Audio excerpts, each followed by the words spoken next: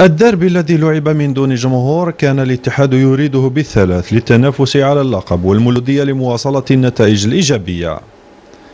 والمواجهة كانت في اتجاه واحد وضيع الاتحاد نقاطها بفعل تضييع الفرص من قبل فرحات وبليل والزملاء. فكانت أخطر الفرص في الدقيقة الثالثة عشر وكانت العارضة الأفقية المانعة أمام فرحات زين الدين. ثم بليل الذي ضيع وجها لوجه أمام الحارس الشوشي الذي أنقذ مرمى في العديد من المرات. هجوم المولودية لم يظهر شيئا في المرحلة الأولى لكن حملات الاتحاد تواصلت والشوشي كان المنقذ خاصة أمام بن موسى الذي تلقى كرة ذكية من بليلي في الدقيقة السابعة والخمسين. المولودية وصلت إلى الشباك لكن بالتسلل وانتهى اللقاء لصالح الاتحاد بالسيطرة غير أن النقاط تقاسمها الفريقان. هاد النقطة ما ماش حد خدمنا مالغري درنا اللي علينا. نقدر نقول لك درنا ان كرون ماتش وين خصونا غير لي بيت. واش نقول لك؟ الحمد لله يا ربي.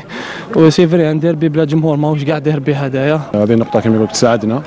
والحمد لله اللاعبين كانوا في المستوى دالوا عليهم وكما يقول لك إحنا خصنا اللمسه تاع الأنصار كما يقول الأنصار المولودية ما في تنقلوا بقوة. وإن شاء الله من قدام كما يقول لك يعرفوا كيفاش يوصلوا مع الشعب تاع لادفيرس إن شاء الله نكونوا في الموعد.